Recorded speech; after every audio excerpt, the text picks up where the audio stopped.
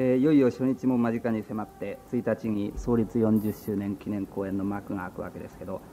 島田さんこれ新興現役は大正6年4月18日でしたね創立は。そうです。あの辰巳さんあのなんかそのお祝いはあ今年もういろいろ座内ではやられたんですか？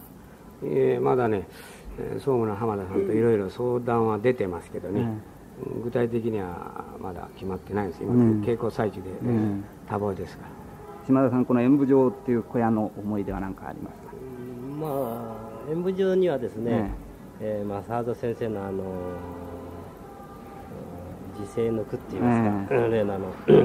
伊豆五花で林の子室耳のあずれ、あの句碑がまだあの庭に残ってますよ。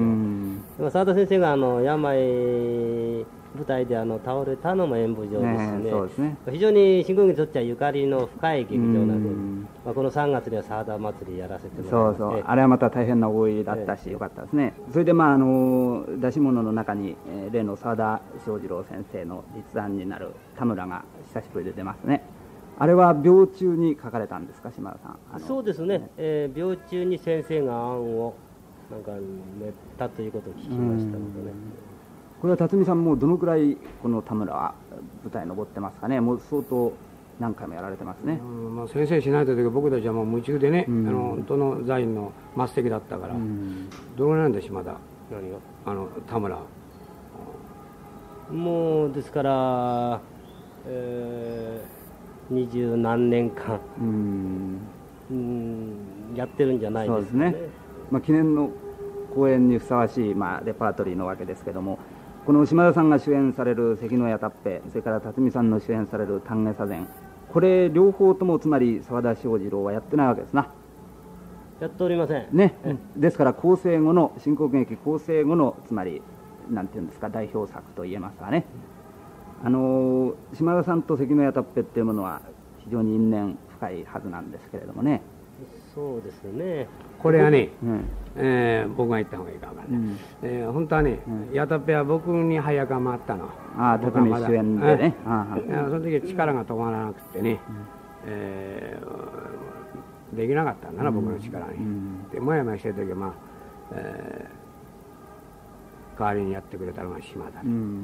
えー、助けてくれた助っ人ね、そして相手役の森助っていうのはね、まあ、僕やって今日まで来てるんだけどね、まあ、これにはいろんなまあ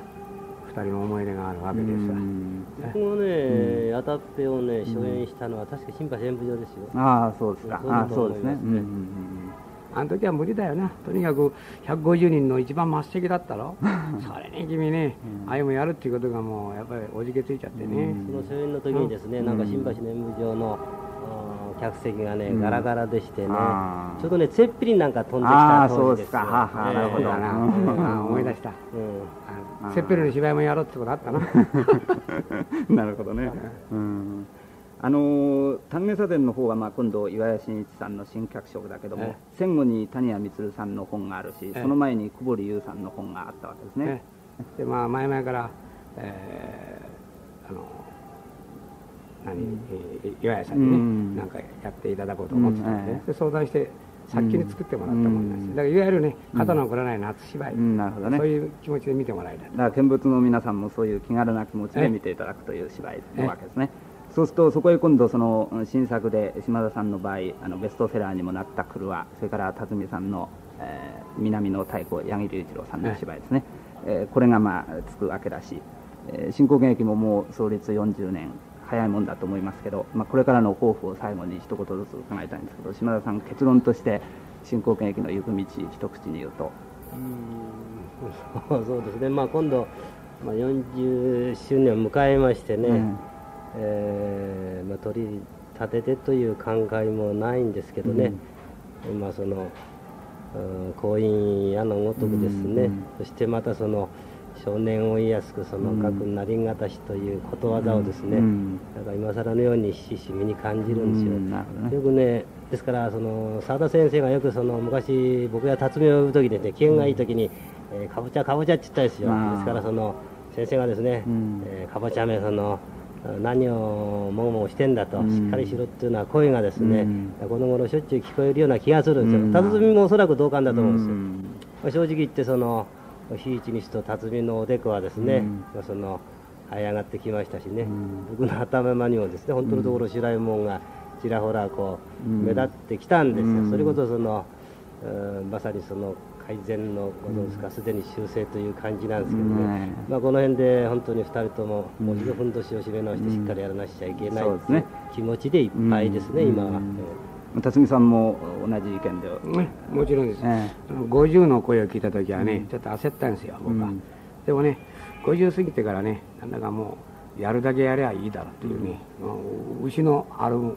歩く心境にね、昨今はなってるからね、まあ、最後まで死ぬまで頑張っていくから。まあ、関の矢たっぺのその弥太郎と森助じゃないけれども、あの大詰めの肩を組んで花道入るあの息でもって